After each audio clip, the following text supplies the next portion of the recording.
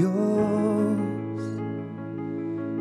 ¿Quién puede compararse a ti, mi gran Señor? ¿Quién puede no caer postrado ante tu voz de amor, de perdón, de restauración? Mi Dios, ¿y cómo no voy a rendir mi corazón? Cada día me enamoras siendo yo un pecador, siento tu abrazo de perdón. Y aún así me amas, a pesar de lo que fui, a pesar que fui yo quien te herí. Y aún así me amas pesar de mi maldad, a pesar de mi infidelidad, tú eres fiel.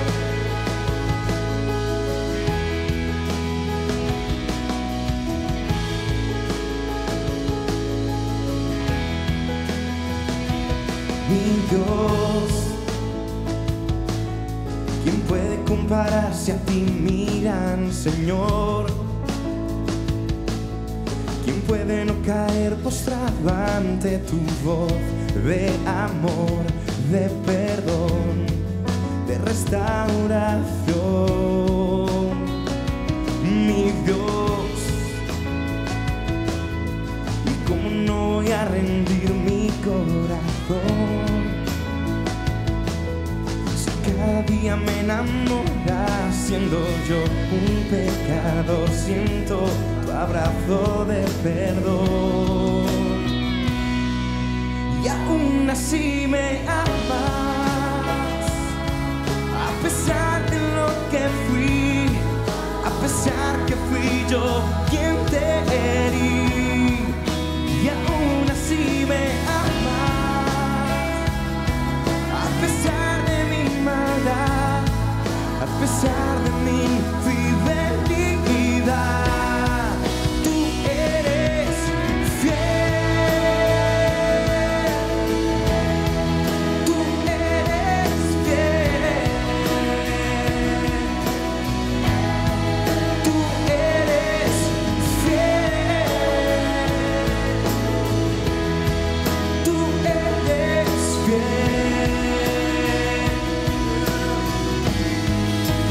siempre lo serás.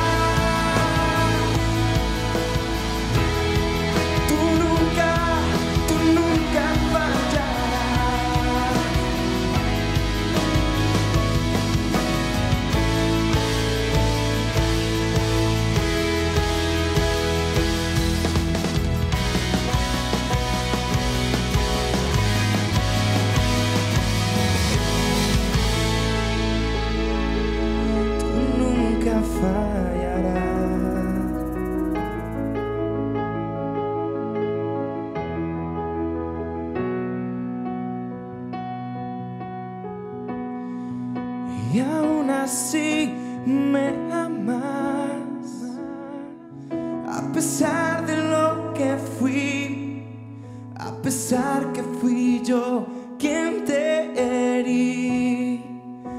Y aún así me amas, a pesar de mi maldad, a pesar de mi infidelidad,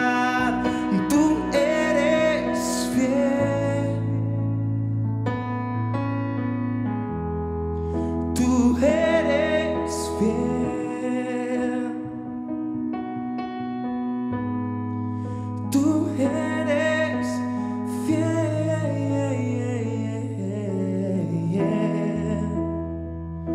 Tú eres fiel. Hay tantas veces en la vida que mm, hemos prometido cosas a Dios y no hemos cumplido. Muchos momentos en los que quizás dejándonos llevar por el, propio momento hemos eh, hecho promesas a Dios que no hemos cumplido. Y, no es lo mismo para uno cuando uno no conoce a Jesús y, y le falla que cuando uno sí lo conoce y aún así le falla. Y me encanta cuando Dios nos lleva a través del libro de Oseas. Es una historia dura pero hermosa que Dios manda a Oseas que se case con una prostituta y él le cambia la vida y hace de ella una mujer eh, digna. Pero luego pasa el tiempo y, ella decide volverse a prostituir y, y abandonar a su marido y Dios le pide a Oseas que vuelva a buscarla. Y eso somos tú y yo. Muchas veces no nos acercamos a Dios porque pensamos, ¿qué dirá Dios? ¿Qué pensará de mí eh, habiéndole fallado tantas veces? Eh, la Biblia nos dice que aún así Él nos ama y que Él es fiel a pesar de nuestra infidelidad. Por eso nos acercamos a Él confiadamente porque Él es un Dios bueno y a pesar de que nosotros no somos fieles, Él es fiel. Y no hay mejor motivo que ese para querer ser fiel todos los días, para querer acercarnos más a Él.